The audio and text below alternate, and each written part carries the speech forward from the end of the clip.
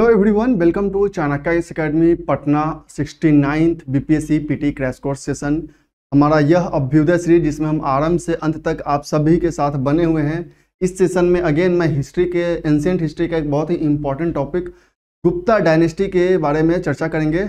और इसमें हम जानेंगे कि उसका कैसा एक्सपेंसन था एम्पायर का पॉलिटिकल सिचुएशन क्या था, क्या सोशल इकोनॉमिक कंडीशन था, और कैसे इसका फाउंडेशन हुआ और यह क्यों golden era of art and culture बोला जाता है इंडियन सब कॉन्टिनेंट में? तो लेट्स बिगिन द सेशन अब हम बात करते हैं, सबसे फ़र्स्ट बात करते हैं गुप्ता एम्पायर के इस्टेब्लिशमेंट की। तो अगर हम इस्टेब्लिशमेंट की बात करें तो यह जो गुप्ता डायनेस्टी है, उसके जो फाउंडर है, वो श्री गुप्त हैं that founded the Gupta empire अब बात करते हैं गुप्ता एम्पायर के स्ट्रेच की across northern and central part of southern India between 320 से 550 सीई e के बीच में इसका काफ़ी ज़्यादा एक्सपेंशन देखने को मिला था। आप देख सकते हैं इस मैप में तो जो ये गुप्ता डायनेस्टी है, उसका एक्सपेंशन है। कि कहाँ से कहाँ तक ये पूरा फैला हुआ था, ये गुप्ता डायनेस्टी तो आप देख सकते हैं नॉर्थ में ये तकसीला से लेके वेस्टर्न में गुजरात, यहाँ पे आप देख सकते हैं नॉर्थ ईस्ट से लेके साउथ में कांचीपुरम तक इसका एक्सपेंसन था। और इसके जो फाउंडर थे, वो श्री गुप्त थे।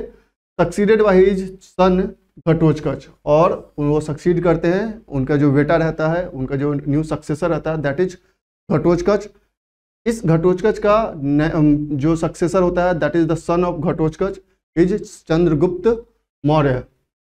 Sorry Chandragupta one. तो फाउंडर कौन हुए? Shrigupta founder of the Gupta dynasty after that Ghatotkacha and successor of Ghatotkacha is Chandragupta one. The first independent king of Gupta dynasty. कि चंद्रगुप्त वन को गुप्ता डायनेस्टी का फ़र्स्ट इंडिपेंडेंट किंग भी कहा जाता है।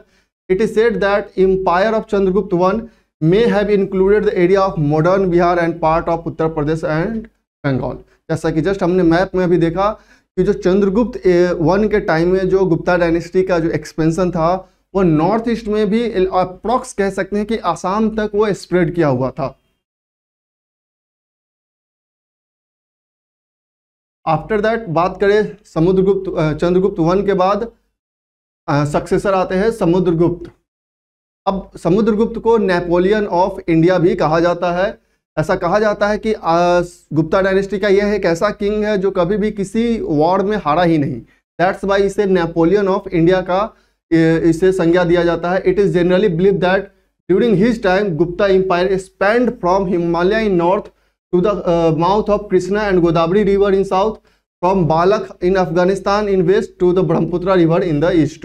अब समुद्रगुप्त के टाइम में भी जो एरिया ऑफ़ एक्सपेंशन था गुप्ता डायनेस्टी का आप देख सकते हैं उस मैप में भी हमने देखा था कि वेस्ट में आप कह सकते हैं कि अफ़गानिस्तान का बॉर्डर तक था ईस्ट में भी वो ब्रह्मपुत्रा रिवर तक और साउथ में कृष्णा गोदावरी का जो रिवर है कांचीपुरम का जो जोन है वहाँ तक यह स्प्रेड किया हुआ था Samudragupta was very attentive to Rajdharma that is duties of a king और इसका सबसे बेसिक अगर कारण बताए कि समुद्रगुप्त इतना क्यों पावरफुल हुआ तो वो राजधर्म के डॉक्ट्रिन को बहुत ही फॉलो करता था। मतलब जो एक डिसिप्लिन होना चाहिए किंग का, उसे वो बहुत ही मेंटेन करके रखता था and took special care of to follow Kautilya's Arthashastra. और जो कौटिल्या के अर्थशास्त्र को वो काफ़ी ज़्यादा फॉलो करता था दैट्स वाई इसका यह मेजर सक्सेस का रीजन भी था कि इसके टाइम में एरिया जो था, जो गुप्ता एम्पायर का, वो काफ़ी एक्सपेंड किया। और इसे संज्ञा दिया गया कि इसे नेपोलियन ऑफ़ इंडिया के रूप में भी जाना गया।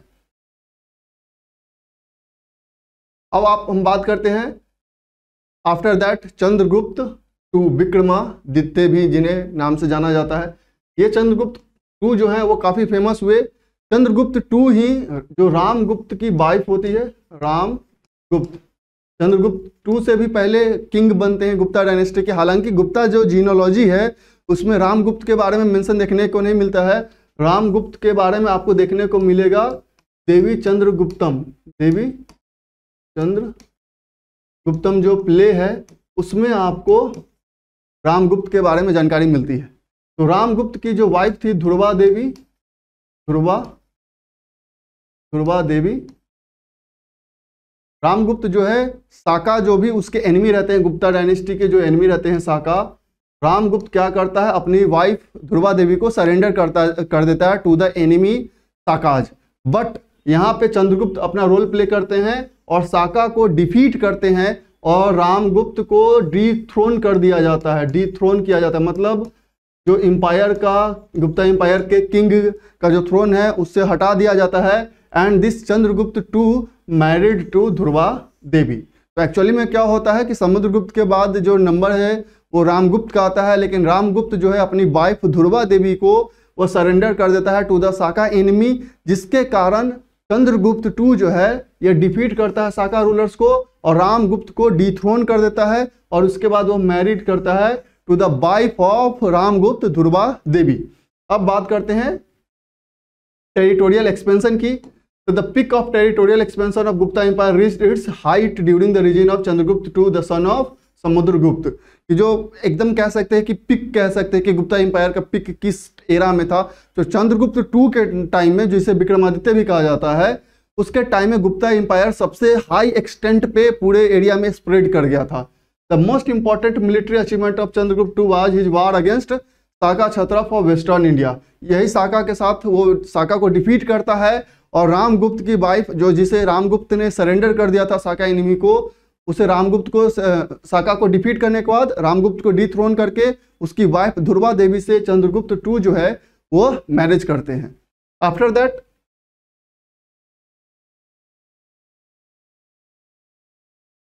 The exploits of a king called Chandra are glorified in an iron pillar inscription fixed near Qutub Minar. और इनके बारे में आपको बहुत सारी जानकारी चंद्रगुप्त टू के बारे में, जो कुतुब मीनार के नियर आयरन पिलर है, वहाँ पे आपको ये जानकारी, इनके बारे में बहुत सारी जानकारी मिलती है। The Chandra the Chandra of Mehrauli iron pillar inscription has been identified with Chandragupta two और जो मेहरौली का आयरन पिलर इंस्क्रिप्शन है that is also identified with Chandragupta two कि चंद्र, मेहरौली में जो लौह स्तंभ जिसे कहते हैं, शिलालेख, के चंद्र की पहचान चंद्रगुप्त द्वितीय से की गई है। द फ़ेमस चाइनीज़ पिलग्रिम्स जो फाहियान है, वो भी विज़िट किए थे गुप्ता एम्पायर में during the time of Chandragupta two the court of Chandragupta two was adorn by celebrated scholars collectively known as Navratnas कि गुप्ता एम्पायर के टाइम में नवरत्नाज हुआ करते थे और ये चंद्रगुप्त टू के टाइम में ये नवरत्नाज जो थे, वो गुप्ता एम्पायर में काफ़ी फ़ेमस हुए थे। अब ये कौन कौन से थे नवरत्नाज आप देख सकते हैं, ये तो पहले सम्राट खुद हैं सम्राट विक्रम, जिसे चंद्रगुप्त टू के नाम से भी जाना जाता है। ये जो नवरत्नाज थे, उसमें है धनवंतरी खपनक अमर सिंह, शंकु, बैताल भट्ट खटपरक कालिदास, बड़ा मिहिर एंड बरुचि ये नवरत्नाज थे जो कि चंद्रगुप्त टू के कोर्ट में थे और ये बहुत स्कॉलर्स हुआ करते थे जो कि इनको हेल्प किया करते थे चंद्रगुप्त टू को। अब बात करते हैं आफ्टर दैट बात आता है कुमार गुप्त का। He seems to have maintain control of his inherited territory which extended from Gujarat in west to Bengal region in east कि जैसे है कि एक्सपेंशन था ड्यूरिंग चंद्रगुप्त टू के टाइम में, वह इस एक्सपेंशन जो इनको ये काफ़ी हद तक मेंटेन करके रखते हैं। After that Kumar Gupta that is the period of Skanda Gupta he it is stated that he restore the fallen fortunes of the Gupta family कि कुमार गुप्त के भी टाइम में थोड़ा सा डिक्लाइन देखने को मिल गया था। तो श्री गुप्त जब ये किंग बनते हैं तो जो एम्पायर का जो कह सकते हैं कि जो मोरल डाउन हो गया था जो फॉर्चून डिक्लाइन कर गया था, ये गुप्ता एम्पायर के फॉर्चून को फिर से रिवाइव करते हैं। He is generally consider the last of the great Gupta emperors और ये जितने भी गुप्ता इम्पेरर्स है, उसमें सबसे अगर लास्ट ग्रेटेस्ट इम्पेरर किसी को कहा जाता है, गुप्ता एम्पायर का तो वो स्कंद गुप्त को ही कहा जाता है। अब बात करते हैं पॉलिटिक्स एंड एडमिनिस्ट्रेशन की। कि आखिर गुप्ता एम्पायर इतना बड़ा जो जोग्राफिकल जोन था, उसे कैसे मेंटेन करके रख रहा था? तो जो लार्ज किंगडम्स होते थे, वो डिवाइडेड होते थे into smaller pradesh that is province and administrative heads were appointed to take care of them कि जितने आप, ये जो लार्ज प्रोविंस होते थे, उसे स्मॉल प्रदेशा में बांटा जाता था स्मॉल प्रोविंसेस में डिवाइड कर दिया जाता था। वहाँ पे एक एडमिनिस्ट्रेटिव हेड को रख दिया जाता था कि वहाँ के एडमिनिस्ट्रेशन को संभाल सके। The king maintain discipline and transparency in bureaucratic process criminal law was mild capital punishment was unheard and of judicial torture was not practice incident of theft and burglary were rare अब basically यहाँ क्या हो रहा था कि जो king थे, वो काफ़ी ज़्यादा डिसिप्लिन मेंटेन करते थे, जिसे राजधर्म भी कहा जा रहा था गुप्ता एम्पायर में। राज धर्म, जो क्रिमिनल लॉ था, वो काफ़ी मिल्ड थे नॉर्मल थे। कैपिटल पनिशमेंट भी बहुत ज़्यादा इस, गुप्ता एम्पायर में फ़ेमस नहीं था अनहेयर्ड था। जो जुडिशियल टॉर्चर था, वो भी प्रैक्टिस नहीं होता था। साथ ही साथ जो थेफ्ट का बात करते हैं, चोरी का बात करते हैं, वो काफ़ी यहाँ पे आपको रेयर देखने को इस गुप्ता एम्पायर में मिल रहा था। अब बात करते हैं हम सोशियो इकोनॉमिक कंडीशन का। People led simple life commodities were affordable and all around prosperity ensure that their requirement were made easily कि लोग जो थे, इस टाइम में, गुप्ता एम्पायर के टाइम में काफ़ी सादा जीवन जीते थे। जो भी वस्तुएँ सस्ती थी और समृद्धि के लिए यहाँ जो सुनिश्चित किया जाता था कि जो भी उनकी आवश्यकताएँ की वस्तुएँ हैं, उन्हें टाइम पे मिल सके अफोर्डेबल प्राइसेस में मिल सके। Gold and silver coins were issue in great numbers which is general indicative of healthy of the economy अब चूँकि इससे से अंदाज़ा लगाया जा सकता है कि जो कॉइन्स इशू किए जाते थे, वो गोल्ड और सिल्वर के कॉइन्स काफ़ी ह्यूज क्वांटिटी में इशू किए जाते थे, जिससे कि यह प्रोस्पेरिटी का पता चलता है कि जो इकोनॉमी था वो काफ़ी हेल्दी इकोनॉमी था।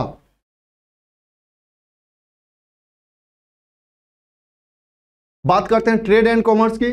Flourish both within the country and outside the country मतलब इंटर जो इंपायर था उसके इंपायर के अंदर में तो ट्रेड हो ही रहा था। इंटरनेशनल ट्रेड भी प्रैक्टिसेस होती थी। Like silk cotton spices medicine priceless gem stone pearl precious metal and steel were exported by the sea कि सी रूट से भी इन सारे चीज़ों का एक्सपोर्ट होता था। Trade relation with middle east जो था वो काफ़ी इंप्रूव किया था। जैसे आइवरी जो एलिफेंट टस्क होता है tortoise shell ETC from Africa silk and some medical plants from China and far east they are high on list of imports ये सब काफ़ी हाई क्वांटिटी में इम्पोर्ट किया जाता था गुप्ता इंपायर के टाइम में। Food grain spices salt gems and gold bullion were primary commodities of inland trade inland trade में हम बात करें तो फ़ूड है फ़ूड ग्रेन था स्पाइसेस था साल्ट था जेम्स था, ये सब इनलैंड ट्रेड में ट्रेड एक्टिविटी में इंप्लॉय होते थे। आफ्टर दैट रिलीजन की बात करते हैं। तो जो भी गुप्ता इंपायर थे, गुप्ता इंपायर में they were the devotee of Vaishnava Hindus who worship the supreme creator as Vishnu कि ये विष्णु के डिवोटी थे। That's why they follow the rule of Vaishnava themselves they yet did not prevent them from being tolerant towards believers of Buddhism and Jainism हालाँकि ये भी काफ़ी tolerant थे, जो बुद्धिज्म में बिलीव करता है वो बुद्धिज्म को फॉलो करे। जो जैनिज्म में बिलीव करता है वो जैनिज्म को फॉलो करे। तो बेसिकली ये वैष्णविज्म को तो फॉलो करते थे, लेकिन ऐसा नहीं था कि वो दूसरे जो भी रिलीजन थे, उसके अगेंस्ट में थे। Buddhist monasteries they received liberal donation और गुप्ता एम्पायर के टाइम में जो बुद्धिस्ट मोनास्ट्री थे, उन्हें भी काफ़ी ज़्यादा डोनेशन दिया गया था। Jainism flourished in northern Bengal, Gorakhpur, Udayagiri and Gujarat. अब जैसा कि हम देख रहे हैं कि किंग भी वैष्णव, वैष्णिज्म को फॉलो करते थे, लेकिन इसके टाइम पीरियड में जो लिबरलिज्म था रिलीजन के अगर रिलीजन की मैटर की हम बात करते हैं तो काफ़ी ज़्यादा लिबरल एटीट्यूड था, जिसके कारण से बुद्धिस्ट और जैनिज्म भी काफ़ी ज़्यादा फ्लोरिश किया था गुप्ता एम्पायर के टाइम में। लिटरेचर, साइंस और एजुकेशन की हम बात करते हैं। तो जैसा कि हम जस्ट देख रहे थे कि चंद्रगुप्त टू के टाइम में जो नवरत्नाज रहते हैं, वो काफ़ी ज़्यादा कंट्रीब्यूट करते हैं in the field of literature science and education क्योंकि वो स्कॉलर्स लोग रहते हैं। तो जैसे आप देख सकते हैं, Sanskrit once again attained the status of lingua franca and manage to scale even greater height than before कि संस्कृत इस टाइम में जो लैंग्वेज के रूप में काफ़ी ज़्यादा उसका इंपॉर्टेंस देखा जाता है। Poet and playwright Kalidasa created such such as Abhijnana Shakuntalam Malwa के अग्निमित्र रघुवंशम एंड कुम्हार संभवम ये सब जो ग्रेटर इपिक्स हैं पोइट्स हैं कालिदास वही नवरत्नाज में से एक स्कॉलर्स रहते हैं, जिनके द्वारा ये सब लिखा जाता है अभिज्ञान शकुंतलम मालवा अग्निमित्र रघुवंशम एंड कुमार संभवम उसके बाद बात करते हैं Harisena a renowned poet panegyrist and फ्लोरिटिस्ट compose Allahabad Prashasti की जो आप अलाहाबाद प्रशस्ति की बात करते हैं, वो that is compose by Harisena, Shudraka, wrote, Mrichchhakatika Vishakhadatta created, Mudrarakshasa, and Vishnu Sharma, penned, Panchatantra. तो ये सब जितने भी स्कॉलर्स हैं, जो गुप्ता एम्पायर में रहते हैं, वो अलग अलग बहुत सारे क्रिएशन लिखते हैं, जैसे सुद्रक मिर्च कटिका लिखते हैं विशाखा दत्त जो है, वो मुद्रा राक्षस लिखते हैं, विष्णु शर्मा पंचतंत्र के बारे में लिखते हैं। तो ये सारे, अब इसी अब मुद्रा राक्षस जो लिखा हुआ है विशाखा दत्त के द्वारा, इसमें यह बताया गया है कि कैसे जो ये इसका एम्पायर का फाउंडेशन किया जाता है। आफ्टर दैट हम बात करते हैं Varahamihira who wrote Brihat Asmita and also contributed to the field of astronomy and astrology. ब्राह्मीर अगेन इस टाइम पीरियड में काफ़ी ज़्यादा एस्ट्रोलॉजी के क्षेत्र में कंट्रीब्यूट करते हैं और एस्ट्रोनॉमी के भी क्षेत्र में इसलिए उनका एक बहुत बड़ा क्रिएशन है, Brihat Samhita genius mathematician and astronomer Aryabhatta who wrote Surya Siddhanta, which covered several aspect of geometry trigonometry and cosmology कि आर्यभट्ट इसी टाइम पीरियड के दौरान सूर्य सिद्धांत लिखते हैं, जिसमें काफ़ी ज़्यादा आपको मैथमेटिक्स के रूल्स देखने को मिलेंगे एस्ट्रोनॉमी से रिलेटेड आपको रूल्स देखने को मिलते हैं। Shanku devoted himself to creating text about geography और अगेन शंकु भी जो ज्योग्राफी के फ़ील्ड में काफ़ी ज़्यादा कंट्रीब्यूशन करते हैं। In the field of medicine the great medical trio of ancient India Vagbhata Charaka and Sushruta belong to this period की मेडिसिन के क्षेत्र में भी जो सुश्रुत संहिता है, इसी पीरियड के दौरान लिखा जाता है और जो तीन ट्रायो बोला जाता है मेडिकल फ़ील्ड का, भागवता, चक्रा एंड सुश्रुता, इसी पीरियड से बिलोंग करते थे।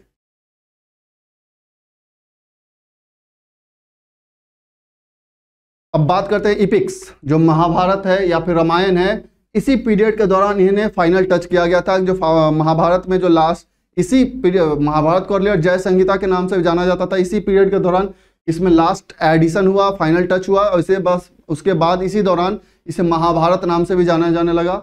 नालंदा यूनिवर्सिटी का फाउंडेशन हुआ by the Kumara Gupta became the most celebrated Buddhist educational centre in north India और इसी दौरान नालंदा यूनिवर्सिटी जो आपके बिहार में है, अभी बहुत फ़ेमस है, वो कुमार गुप्त के द्वारा फाउंडेशन उसका किया गया था।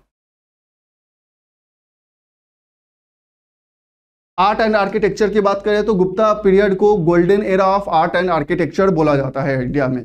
ये आर्ट एंड आर्किटेक्चर के क्षेत्र में जो गुप्ता एम्पायर है, वो काफ़ी ज़्यादा इनोवेशन लाया था। इसका एग्ज़ाम्पल आपको देखने को मिल सकता है उसके पेंटिंग्स में, उसके स्कल्पचर्स में, आर्किटेक्चर में, जो कि फाउंड किया जाता है। आपको अजंता केव्स में, एलोरा केव्स में, सारनाथ में, मथुरा में, अनुराधापुर एंड सिग्रिया में। ये सब जगहों पे आपको बहुत ज़्यादा गुप्ता एम्पायर से रिलेटेड जो है एविडेंसेस देखने को मिल सकते हैं।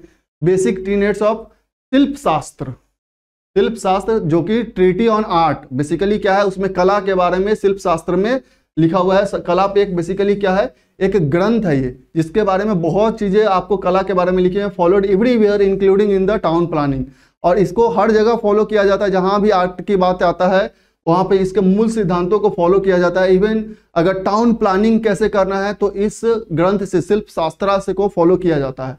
Stone studded golden stairway iron pillars iron pillar of Dhar is twice the size of Delhi iron pillar intricately designed gold coins, jewelry, metal sculpture speak volume about skills of metal smith. आप इस दौरान देख सकते हैं कि जितने भी पत्थर से पत्थर का आकार से को सेप करके जो सुनहरी सीढ़ियाँ बनाई जाती थी या लोहे के जो खंभे होते थे या आभूषण जो बनाए जाते थे या धातु की जो मूर्तियाँ बनाई जाती थी बहुत ही एक अलग सेप उन्हें दिया जाता था, जिससे यह पता चलता था कि जो भी उस समय धातुकार थे, जो भी उस मेटल पे वर्क करने वाले थे, वो काफ़ी ज़्यादा स्किल्ड हुआ करते थे।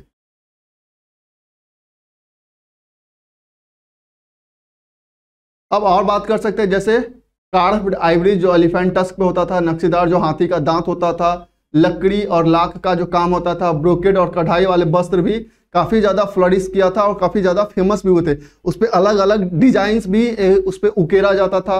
Practice of vocal music, dance, seven types of musical instrument.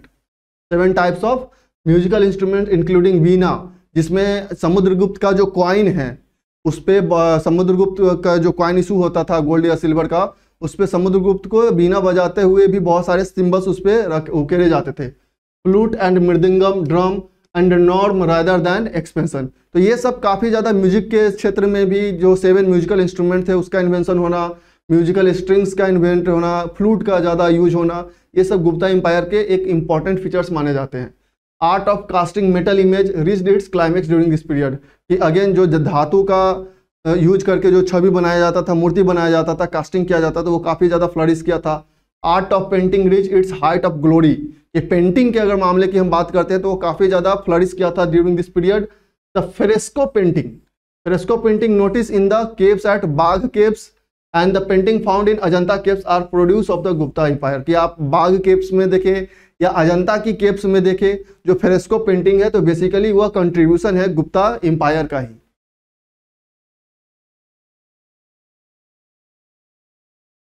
अब कुछ पी वाई क्यू देख सकते हैं कि जो प्रीवियस ईयर में क्वेश्चन पूछे गए हैं गुप्ता एम्पायर से, और बीपीएससी फ्रीक्वेंटली इस गुप्ता डायनेस्टी से रिलेटेड कुछ क्वेश्चंस पूछते रहते हैं हर साल। फॉर एग्जांपल हम बात करते हैं famous Chinese pilgrim Fahien visited India during the reign of जो फायान है, वो इंडिया में गुप्ता एम्पायर के किस किंग के टाइम पीरियड में आए थे? जस्ट हमने डिस्कस किया चंद्रगुप्त टू के टाइम में वो इंडिया में आए थे। Who is called Napoleon of ancient India again हमने डिस्कस किया। समुद्रगुप्त को नेपोलियन ऑफ़ एंशियंट इंडिया भी बोला जाता है। तो देख सकते हैं कि बहुत ही नॉर्मल टाइप के आपका क्वेश्चन बीपीएससी इस गुप्ता डायनेस्टी से पूछा है।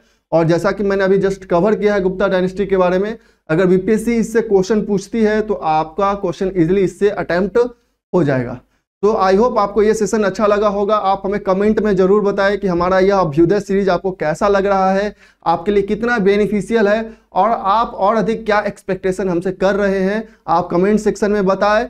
और प्लीज़ वीडियो को लाइक करना ना भूलें, उससे हमें भी मोटिवेशन मिलता है और ज़्यादा से ज़्यादा शेयर करें चैनल को सब्सक्राइब करना ना भूलें। So that's all for today मिलते हैं हम नेक्स्ट वीडियो में। Thank you